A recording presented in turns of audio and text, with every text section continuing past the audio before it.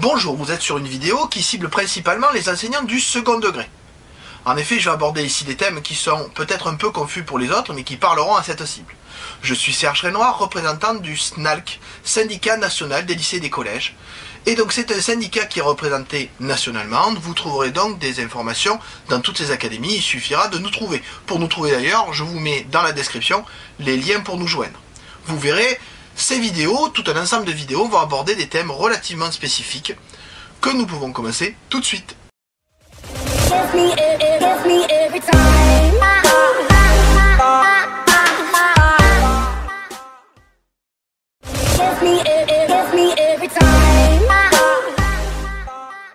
Bien, commençons l'étude de l'intra-académique de l'aspect des vœux par quelques idées reçues.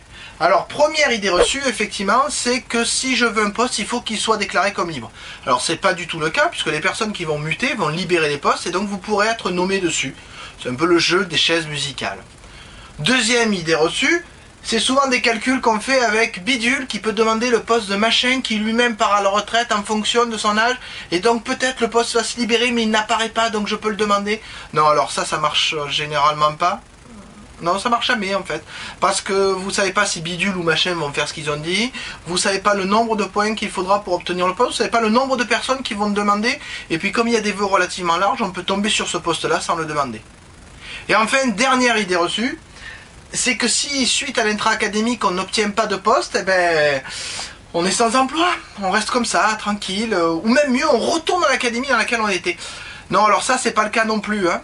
Non, non, non. Effectivement, si vous devez avoir un poste, vous êtes stagiaire par exemple, ou si vous êtes entrant dans l'académie, l'algorithme du rectorat vous trouvera un poste de toutes les façons possibles. Vous êtes ce qu'on appelle soumis à la règle de l'extension. Il y a une autre vidéo pour vous expliquer ça. Mais toujours est-il que vous aurez un poste et vous ne serez pas sans rien faire. Donc il faut bien réfléchir à la façon dont on fait ses vœux. Alors justement, pour ces vœux, comment allez-vous les faire?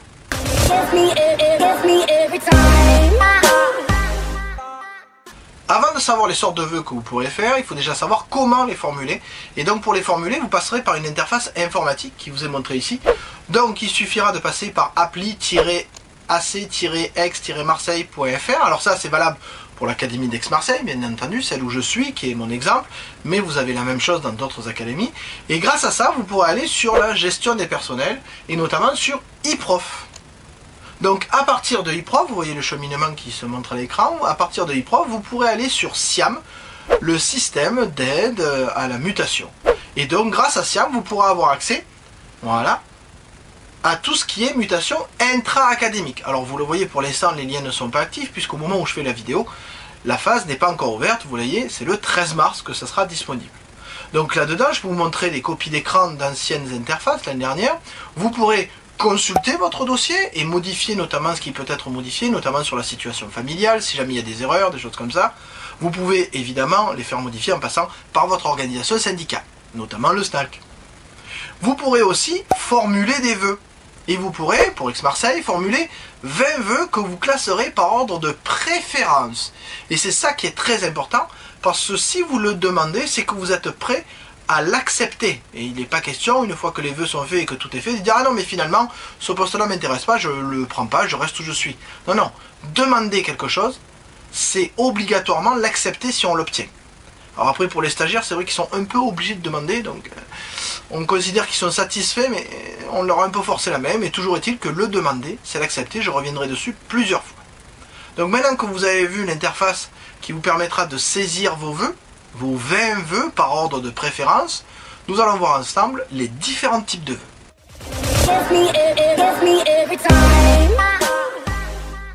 Alors pour les sortes de vœux, il faut savoir qu'il y en a deux sortes, les vœux précis et les vœux larges. Les vœux précis correspondent généralement à un établissement et les vœux larges à des zones géographiques.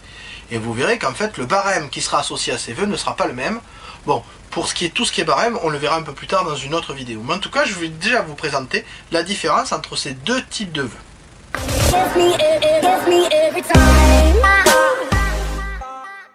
Commençons par le plus simple, les vœux précis. Les vœux précis sont ceux qui sont le plus limités géographiquement, mais qui ont aussi le moins de bonifications disponibles. En effet, sur un vœu précis, vous n'aurez pas de bonification liée à votre situation familiale, comme un rapprochement de conjoint, ou euh, lié au fait que vous ayez un enfant ou pas.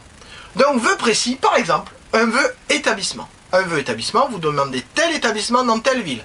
Par exemple, je veux le collège Jules Verne au Pontet. Ou je veux euh, le lycée Frédéric Mistral à Avignon, donc vous demandez un établissement bien précis. Les deux autres types de vœux que je vous présente, le vœu en CIO, Centre d'information et d'orientation, ou le vœu en SIO, ne concernent pas les personnels enseignants, mais comme ils existent sur le BA, je vous montre que ces vœux existent. Donc pour les enseignants du second degré, ça reste le vœu établissement qui est un vœu précis non bonifié. Maintenant, on va voir les vœux larges.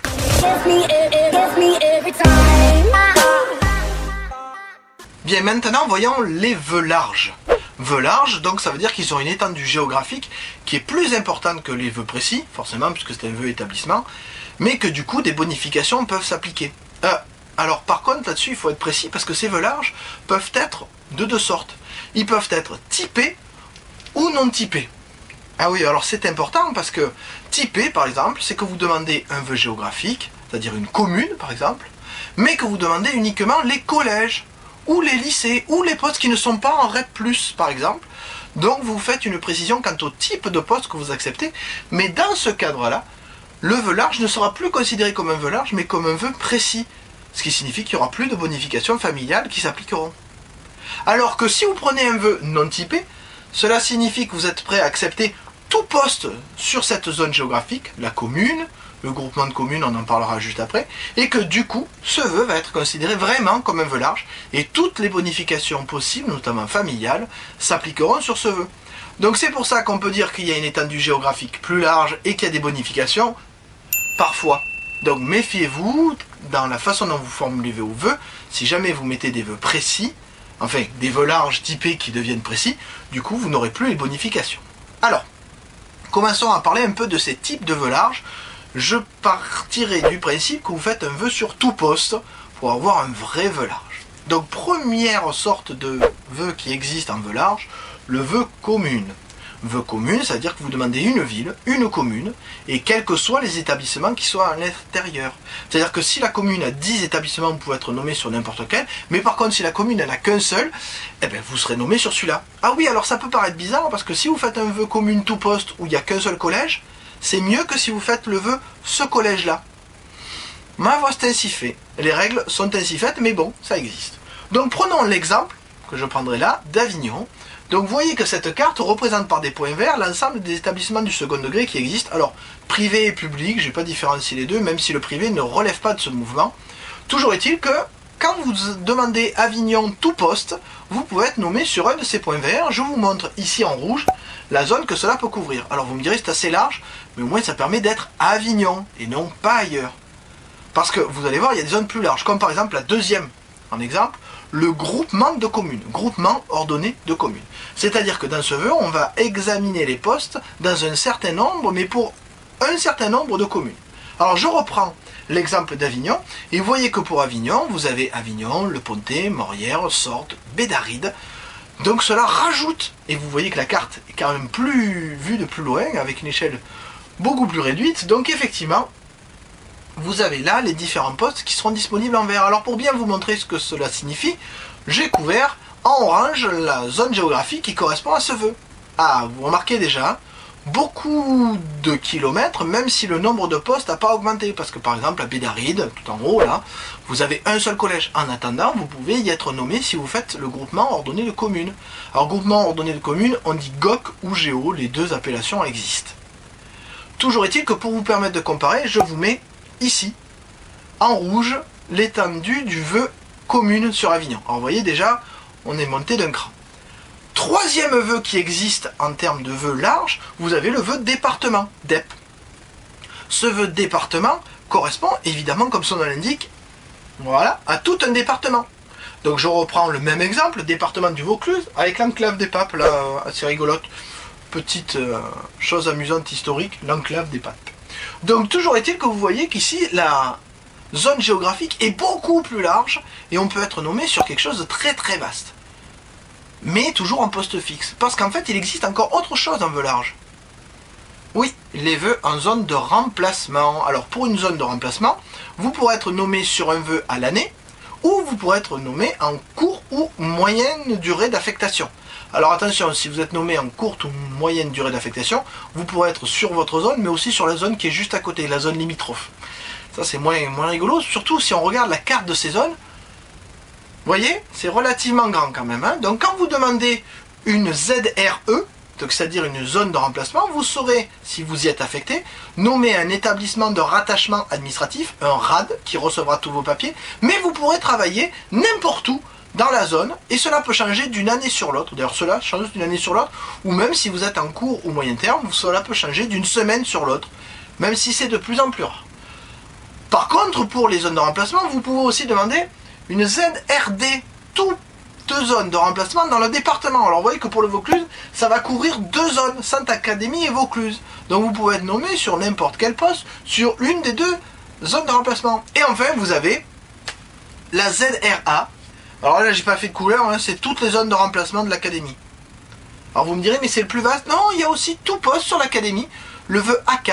Alors pour ceux qui sont en extension, j'y reviendrai, c'est un vœu qui existe automatiquement, hein, puisqu'il faut qu'ils aient euh, Donc vous avez là les vœux du plus précis commune jusqu'au vœu le plus large, ZRA, si on doit le, préciser ainsi. Donc là, ce sont pour les vœux larges pour le mouvement intra-académique. Maintenant, on peut voir aussi ce qui existe au niveau des postes spécifiques.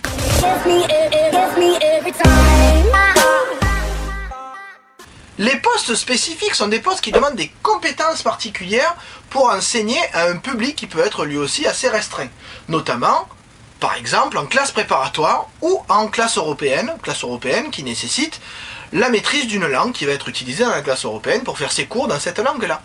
Donc ces postes nécessitent l'avis d'un IPR ou du chef d'établissement et ces postes seront publiés dans le bulletin académique qui va gérer l'intra-académique de chaque académie, bien évidemment. Hein. Donc à Aix-Marseille, au jour d'aujourd'hui, ils ne sont pas encore publiés.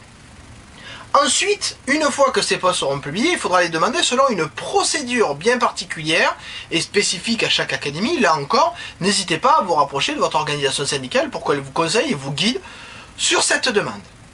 Ensuite, il faut bien savoir que ces postes spécifiques sont prioritaires par rapport aux autres postes intra-académiques. Si vous demandez un poste en classe préparatoire et que vous demandez des lycées ou des collèges ailleurs, si vous obtenez votre poste en classe préparatoire, votre mouvement s'arrête là et les autres vœux, même si vous les avez obtenus, seront remis au mouvement et seront annulés de fait. Enfin, il faut bien imaginer qu'en cas d'égalité des dossiers, ça va être encore là le barème qui va agir, c'est-à-dire qu'on regardera le nombre de points des deux candidats pour les départager.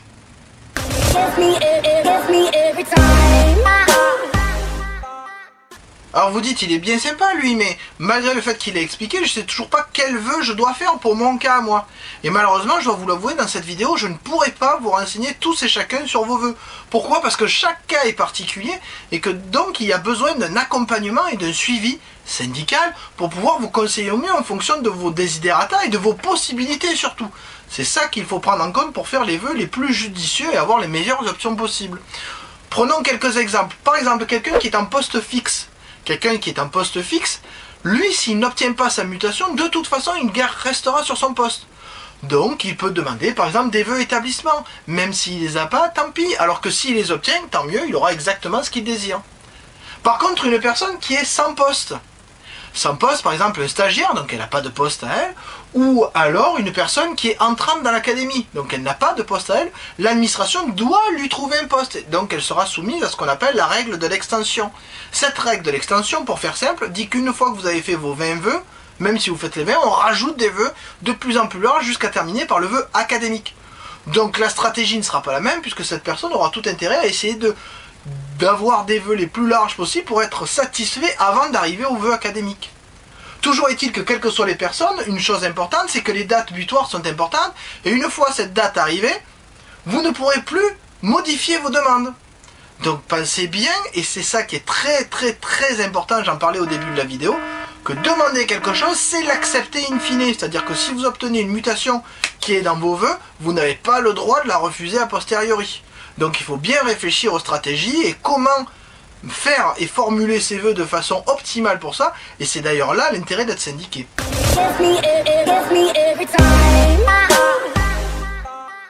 Alors pourquoi être syndiqué? Alors que toutes les règles liées à ce mouvement seront publiées dans un bulletin académique qui reprendra l'ensemble des bonifications, des postes, des rapprochements des communes, etc. etc. ben, Simplement parce qu'en tant qu'adhérent, vous pourrez bénéficier de conseils qui seront personnalisés par rapport à vos propres demandes, par rapport à vos besoins, vos envies et vos possibilités, car c'est ça qu'il faut arriver à mettre en équation. Je rappelle que c'est pas vous qui demandez un poste, c'est le poste qui a besoin de quelqu'un. Le tout, c'est de faire en sorte que vous puissiez vous rencontrer dans les meilleures conditions possibles. En effet, ce conseil se base sur une expertise que nos équipes ont dans le suivi de mouvements intra-académiques depuis de nombreuses années et sur le fait que nous connaissons ces textes et que nous conseillons de nombreuses personnes. Car effectivement, nous sommes là pour connaître votre dossier et vous proposer les meilleures options possibles, c'est-à-dire savoir ce que vous demandez, plutôt un groupement de communes, plutôt une commune, si vous voulez être sur telle commune, quelles routes peuvent y mener, etc. De même, grâce à ça, vous serez capable de faire les meilleurs choix possibles pour optimiser votre mouvement intra-académique. Alors attention, être syndiqué, c'est pas obtenir ce qu'on veut c'est être sûr d'avoir fait les meilleurs choix grâce à des conseils d'experts. Et enfin, être adhérent syndiqué, c'est être sûr aussi d'être suivi et défendu du début à la fin du mouvement intra-académique. Je rappelle que sur rien que l'Académie d'Aix-Marseille, il y a plusieurs milliers de professeurs qui demandent des mutations, et donc vous serez un parmi plusieurs milliers, alors que quand vous êtes suivi syndicalement, vous êtes sûr qu'il y a quelqu'un qui est dédié à votre dossier et qui le suit du début à la fin pour vous permettre d'avoir ce que vous pouvez avoir de mieux possible. Donc, j'espère que je vous ai convaincu et je vous dis à bientôt sûrement.